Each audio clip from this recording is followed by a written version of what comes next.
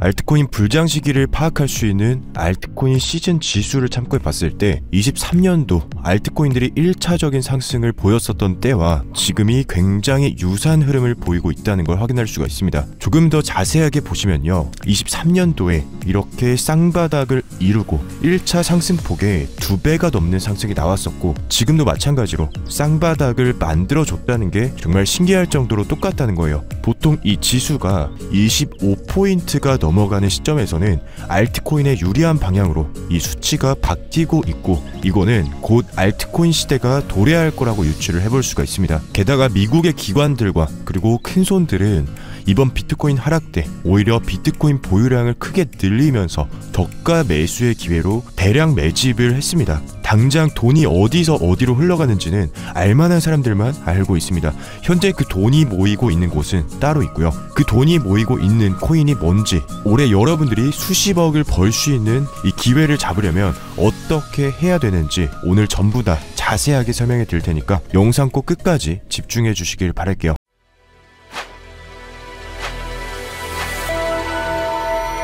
지금은 시장이 많이 어수선하다 보니까 매크로적인 부분도 굉장히 중요하게 봐야 될 시기죠. 그래서 당장 8월 말에 CPI 발표를 앞두고 있습니다. 기억하실지 모르겠지만 지난번 연준 회의 직후에 파월 의장이 단일 데이터에 의존하지 않겠다. 9월 금리 인하 여부를 결정할 때 경제 데이터의 전체적인 상황을 먼저 고려할 거다. 이렇게 말했던 적이 있었습니다. 그래서 7월 CPI가 낮게 나올지 높게 나올지는 두고 봐야 알겠지만 이미 최근에 고용 지표가 굉장히 약하게 나왔습니다. 그렇기 때문에 이번에 CPI가 다소 강하게 나오더라도 9월에 금리 인하할 가능성이 굉장히 높다고 보고 있고요.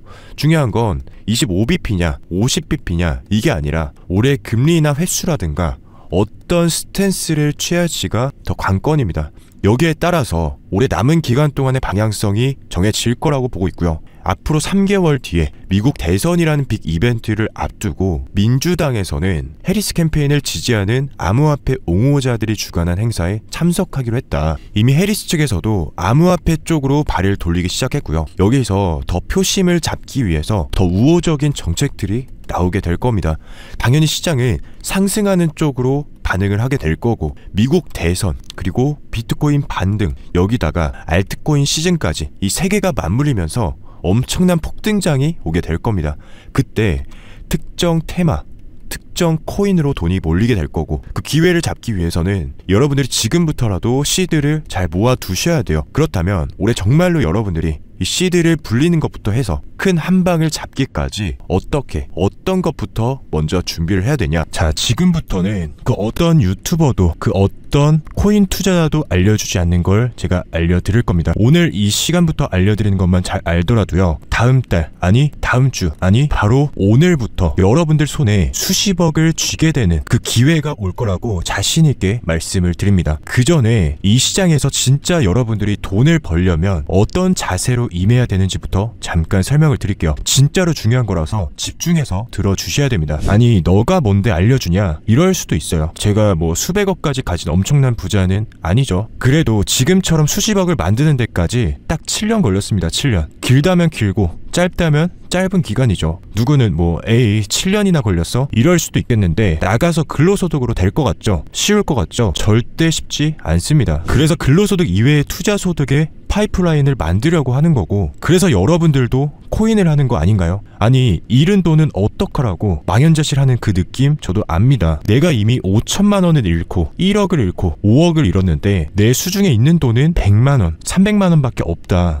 이걸로 다시 하라고? 어느 세월에? 근데 당연히 그렇게 해야죠. 솔직히 그게 아니면 그냥 꼬박꼬박 월급 받으면서 직장 다니시고요. 그게 어느 세월에가 아니고 거기서 복구하겠다고 또 무리하게 빚내고 하다 보면 마이너스 5천이 마이너스 1억이 되고 마이너스 3억이 되고 그때는 이미 뭐 어떻게 손댈 수도 없습니다. 이 전쟁터에 비교를 해볼게요. 여러분들이 전쟁터에 나가서 오래 살아남으려면 내가 받는 타격이 적어야 되겠죠. 여기 코인 시장에서도 마찬가지예요. 그 데미지가 크면 결국 시장에서도 지고 현생에서도 지고 정신적으로 버틸 수가 없습니다. 그래서 그 데미지를 최대한 적게 받는 방법 이게 중요하겠죠. 이 데미지를 적게 받으면서 꾸준히 돈을 불려 나가려면 제대로 된 중장기 투자를 해야 됩니다. 다 지난 얘기지만 저도 초창기 때 직장 생활을 하면서 이때 받았던 월급 몇십만 원 몇백만 원씩 넣기만 하면 얼마 못 가서 계속 물리거나 또 날리고 이러면 또 다음 달에 월급 들어오면 또 입금하고 이게 거의 반복이었습니다. 그 당시에 저는 빚까지 거의 3억 정도 지게 됐었는데 그때 신용대출을 다 끌어다 쓰는 바람에 한 달에 내야 되는 이자랑 원금만 거의 300만 원이 넘어갔습니다. 정말 지금이야 이렇게 얘기할 수 있는 거지 맨날 속은 울렁거리고 또 머리는 뜨겁고 앞날은 막막하고 진짜 어떻게 살아야 되나 나쁜 생각까지 하면서 한강에서 얼마나 많이 생각을 했는지 모르겠어요. 분명히 과거에 저보다는 덜한 사람도 있을 거고 더한 사람도 있을 거예요. 제가 이미 그런 길을 지나와서 그런지는 몰라도 그냥 괜스레 혹시나 과거의 저와 같은 사람들이 지금 이 순간에도 있지 않을까 하는 마음에 최대한 유튜브를 통해서라도 더 도와드리고 싶은 겁니다. 그래서 오늘 이렇게 여러분들이 어떤 코인을 잡아야 되는지 정성껏 영상을 준비한 거기도 하고요. 오늘 전부 공개를 하고 갈 겁니다. 정말 여러분들도 지금의 저를 만들어준 이 중장기 투자를 통해서 꼭 경제적 자유를 얻었으면 좋겠어요. 저 말고도 한 가지 사례를 더 들자면 지금 이 공무원은요 올해만 비트코인으로 15억 원을 벌었습니다. 15억 원. 이 사람이 대단한 사람이었나요? 아니죠.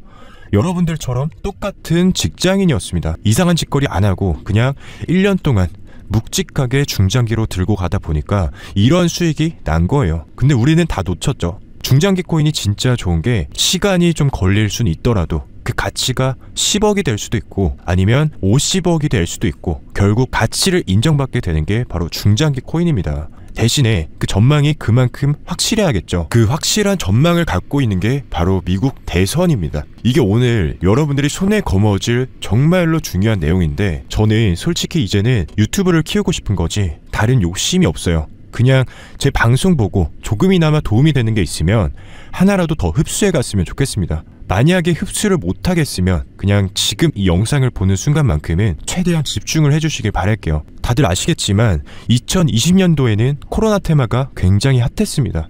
그리고 그 다음해에는 메타버스, NFT가 대박을 터뜨렸었고요. 최근에 23년도부터는 AI 테마가 모든 자산 시장을 견인했다고 봐도 과언이 아니죠. 테마라는 건 새로운 신규 자금이 몰려들면서 매번 새롭게 사이클을 돌기 때문에 만약 앞에서 말씀드린 이 테마 내에서 여러분들이 수익을 제대로 못 봤다면 여러분들은 그 다음을 준비해야 돼요.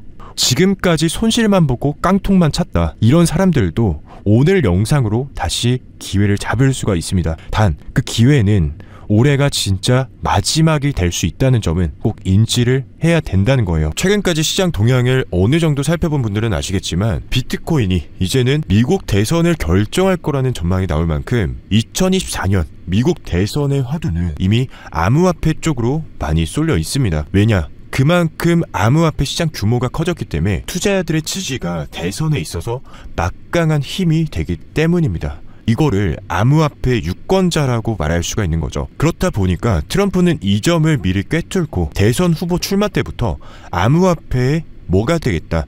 대통령이 되겠다. 미국을 세계 최고의 암호화폐 중심지로 만들겠다는 입장을 고수해왔죠. 그리고 이제는 비트코인을 절대 팔지 말라고까지 대놓고 말하기도 했습니다. 단연 이 같은 입장은 암호화폐 투자자들이 지지를 안 할래야 안 할 수가 없는 발언이죠. 여기에 따라서 바이든이 출마를 포기하고 바이든을 대체해서 민주당 대선 후보로 확정된 이 해리스도 트럼프와 맞서게 되면서 조금씩 암호화폐에 대한 입장을 드러내고 있는데 최근에는 암호화폐 업계 CEO들과 미팅을 갖고 유권자를 확보하기 위한 움직임을 보이기도 했습니다. 이렇듯 두 후보들은 어떻게든 암호화폐 유권자들을 잡으려고 하고 있고 각종 공약들을 내세우고 있습니다. 그렇다 보니까 솔직히 누가 되든 우리는 상관이 없어요. 어떻게 보면 이런 거예요. 양쪽에 A PC방과 B PC방이 있고 어디를 갈까 우리가 서 있는데 이 A와 B끼리 서로 한시간에천 원을 받겠다. 뭐 한시간에 800원을 받겠다. 이러고 싸우고 있는 거죠. 결국 여기서 이득이 되는 건 당연히 암호화폐 투자자들이 될 수밖에 없다는 겁니다. 그래서 여러분들이 중장기 투자로 올해 큰 한방을 노리고 있다면 미국 대선에 집중을 해야 된다는 거고 한 가지 사례로 트럼프 관련 코인인 마가가 굉장히 핫하기도 했었죠. 물론 이미 세력들이 다 해먹은 코인이긴 한데 올해 초부터 미국 대선이 관심을 받기 시작하면서 100배가 넘게 폭등을 했던 적이 있었습니다. 근데 우리는 다 놓쳤죠. 저도 마찬가지고요. 여기에 100만 원만 사놨어도 단 몇 개월 만에 1억을 만들 수가 있었습니다. 그러니까 이번만큼은 절대 놓치지 말자는 겁니다. 그래서 저는 거의 3개월 동안 일을 갈면서 수백 개 코인은 둘러본 것 같아요. 그 중에서 유일하게 중장기적으로 최소 5,000%의 상승을 기대해보고 있는 이 미국 대선 관련 코인이 바로 이 코인입니다. 제가 일단은 블러 처리를 해놨는데 참고로 전부 공개를 할 겁니다. 이미 최근에 1차 폭등이 나오긴 했었어요. 대부분 모르고 있는 코인이다 보니까 아마 이렇게 올랐던 것도 못 보셨을 겁니다. 이때는 저도 좀 관망을 하면서 얘가 진짜로 오를 힘이 있는지 테스트를 해봤는데 확실히 힘이 있는 코인이 맞았던 것 같아요. 그리고 나서 지금 다시 이 바닥을 다지면서 매집을 하는 구간에 왔고요. 이렇게 blur 처리를 해놓은 이유는 이거를 제가 영상에서 공개를 하게 되면 보시는 것처럼 유튜브 정책상 크리에이터의 권장사항에 문제의 소지가 되는 부분이 있어서 코인명을 노골적으로 공개할 수가 없습니다. 그래서 불편하더라도 제가 이렇게 블러 처리를 해놨고요. 정말 나는 올해 2024년에 기회를 꼭 잡아보고 싶다. 경제적 자유에 조금이라도 가까워지고 싶다 하시는 제 구독자분들의 한해서만 공유를 해드릴 생각입니다. 솔직히 저도 저 나름대로 힘들게 분석하고 기다린 코인이다 보니까 제 채널을 구독해주신 제 구독자분들한테만 드리고 싶은 마음도 없지 않아 있어요. 그래서 앞에 제 개인 안전번호가 보이실 텐데 제 구독자라는 거를 제가 확인할 수 있게 이쪽 010-5488-2867로 대선이라고 두 글자만 남겨두세요. 제가 혹시나 해서 염려하는 마음에 말씀을 드리지만 후원은 절대적으로 사용하겠고요. 참고로 저는 리딩을 하지도 않고 금전 요구하는 것도 없습니다. 만약에 그러면 그냥 차단하세요. 그냥 저는 제가 무료로 드리는 이 정보들로 행여나 행복한 일이 생기게 되면 제 채널 구독과 좋아요 그냥 많이 눌러주시고 많이 홍보해 주시면 저는 그걸로 만족할 것 같아요. 그게 제가 방송을 하는 이유기도 하고요. 다시 한번 말씀드릴게요. 어떻게 해야 된다.